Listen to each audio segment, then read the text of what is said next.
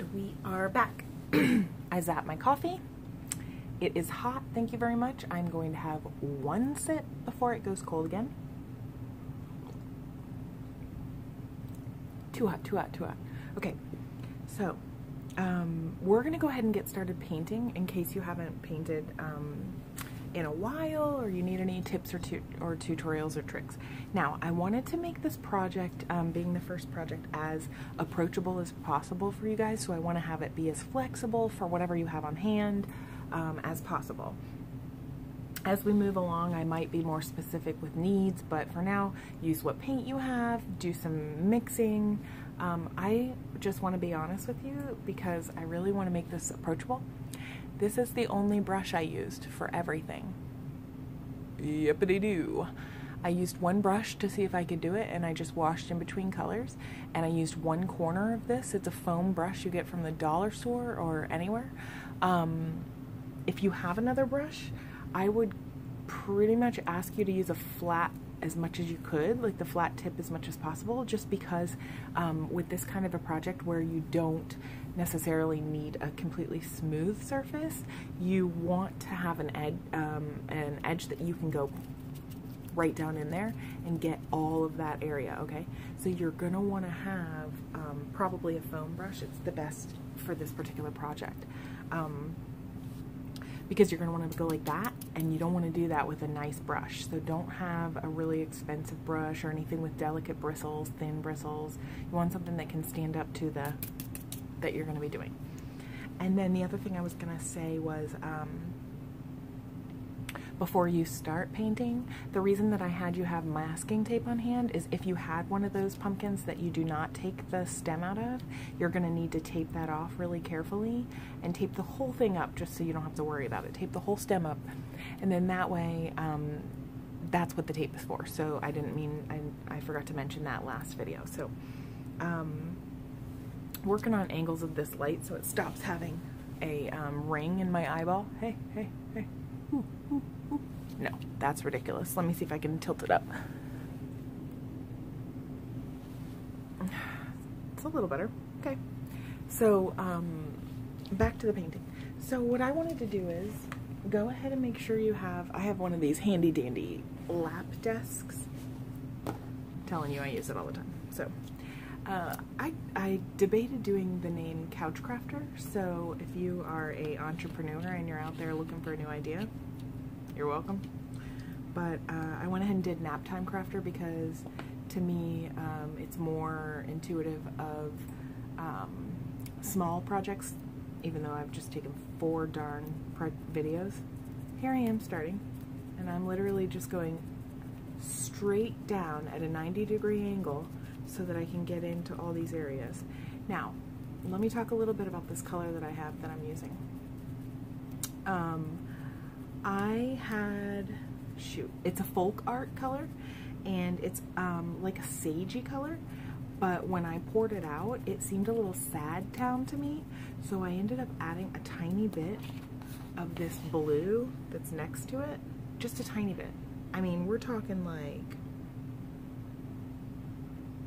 10% of the whole thing. And I mixed that together with that sage color and all it did was brighten it up.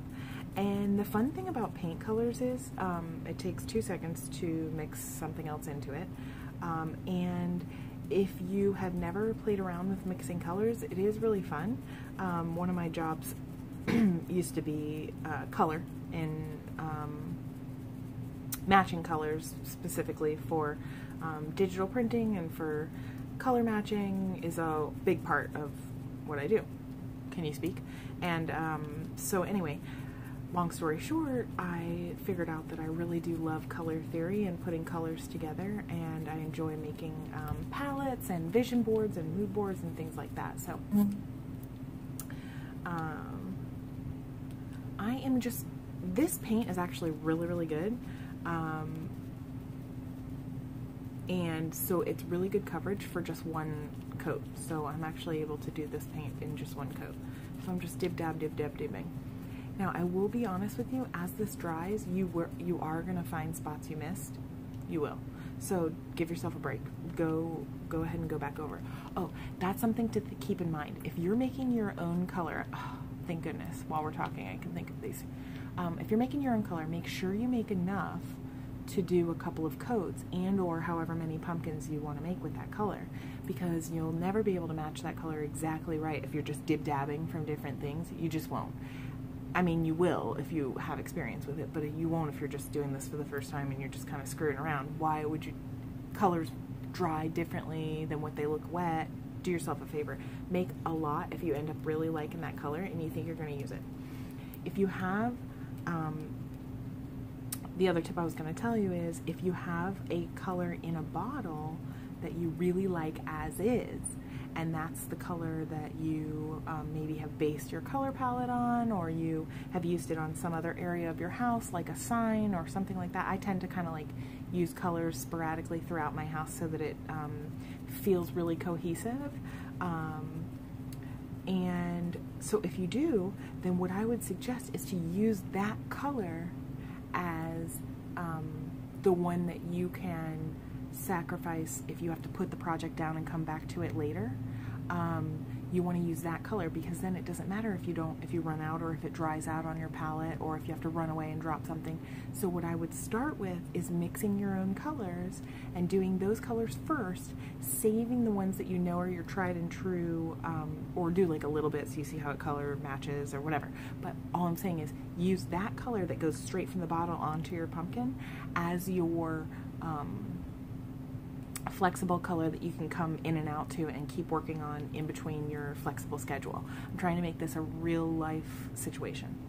Um, things are going to be, your kid's going to wake up or somebody's going to come knocking. I don't, you know, this doesn't specifically have to be for moms. It's really just more about um, doing crafts in your spare time whenever you have five minutes. So, um, okay, enough talking with this one. Done. I did a half and then I kind of just kind of took it up and around the side. So um, if you have a really, really air conditioned spot in your house, I just happen to be sitting in Antarctica right now, so I can just like basically set this down and it'll be dry in like 90 seconds. But if you don't happen to have a um, leaf blower air conditioning unit like I do, um, you can just simply sit it outside or sit it on a counter and try to obviously leave one side that is dry so that you can set that side down. Um, which I've just realized that I've set myself up with nowhere to put this down. Uh, excellent. So I'm going to sacrifice my lap desk and just set it right onto it because why not? What's it going to hurt? It's going to be a little pain. Now on to my next pumpkin. So I have decided, let's go back in and show you what I've got going on so far. So I've got two of these bluer pumpkins. I've got one small green one. I've got a gray one that's solid gray, and then I took that champagne and put it on top of it. And then I've got this guy that's half champagne, half blue, and it's one of the larger ones. And I also, I like taking that champagne on a dry brush and brushing it over the texture because I just think it really gives it a nice cohesive look overall. Um, and then it makes it look like they're all a big happy family. So I'm going to bring it nice and close. It's looking so good, guys. I'm sure you guys are really excited. And then last time I showed you how I just cut the sticks and shoved it right in. I didn't even have to use the glue, so score. Gotta love those happy accidents. Okay, so now this next one. Technically I need a new brush because this is dirty. So, boozers. Where's that flat one that I just was showing you? it's probably gonna wake them up. I just suck spit down. I just suck spit down my throat. Real talk. Um, okay, so I'm gonna use this one. I have a really other pretty Mar Martha Stewart one color called Rose Gold. Get that. And you can get these at Walmart, at um, Michael's, wherever your local craft store is. She carries them everywhere because they are good. And then this is the other one that I like, which is Rose Copper. It's a little bit deeper. I meant to pour that one out, to be completely honest with you, but I didn't. So, and then this is the champagne that you need. I needed like four or five coats to cover over the black Sharpie. I love you, Martha Stewart. If you're watching, if you're watching. One can dream. Um, I should have used not a black marker on this one. That's all I'm saying. If you're using a light one, don't use black. Okay, get started. What I'm going to do is, because I have that darker metallic that I know I want to use, I'm going to do the darker on the bottom and I'm going to use the layer on the top. Light play. So, I'm just starting. Do, do, do, do, do, do, do, do, do. Hopefully we don't have the same issue with the champagne, but it's looking like we might. Do, do, do. And you just want to make sure you're getting down.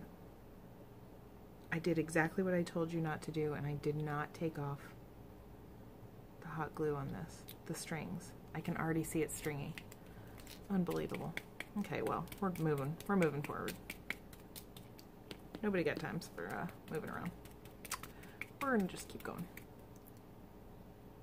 I literally just took it down to the bottom and I said I was gonna take the darker color on the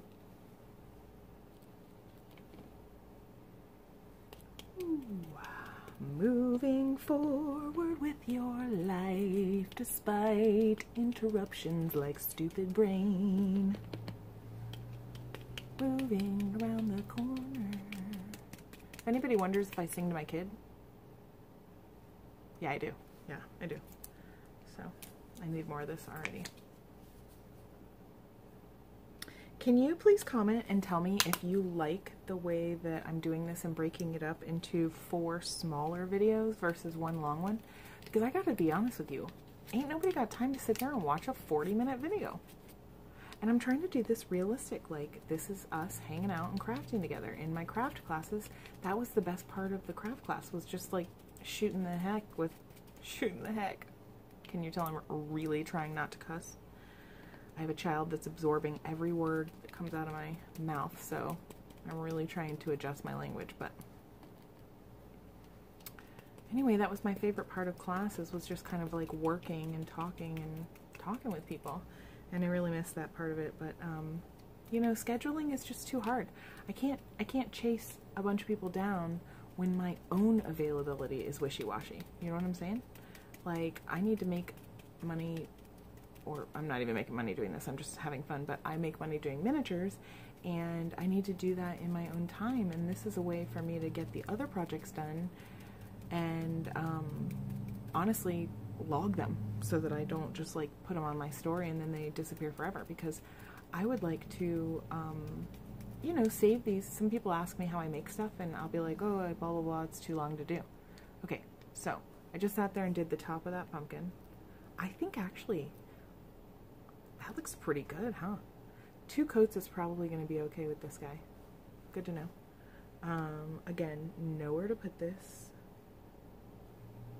Idiot. So this is going to take a minute to dry because my AC turned off. it's literally like that. Um, let me just tell you one other thing before I let you go and then I'll come back um, oh yeah, because I have to go get the copper ribbon, I mean the copper wire to do the little stringies, and then we'll assemble it all. Um, please tell me if you like the small. Oh my gosh, almost 14 minutes. Man, I can talk. The other thing is, if you like, if you think you're gonna even think about putting these outside, cover this before you go any further. I mean, after you paint, but before you use them, cover them because you need to seal it for being outside. I'm going to use mine inside because Florida weather is like, I don't want to put anything out there anyway, unless it's like wood, but um, you just need to cover it because otherwise it'll crack and it'll be yucky and you won't get the life out of it that you want. So um, I'm going to let this dry and then go ahead and, um, oh, yeah, I showed you some of my colors, but I'll go ahead and write the other ones that I used because they're not handy to show you. And I will also um, list the amazing cutters. Oh my god, I have another pumpkin. wow. And I'll finish this, but this is 15 minutes. Come on.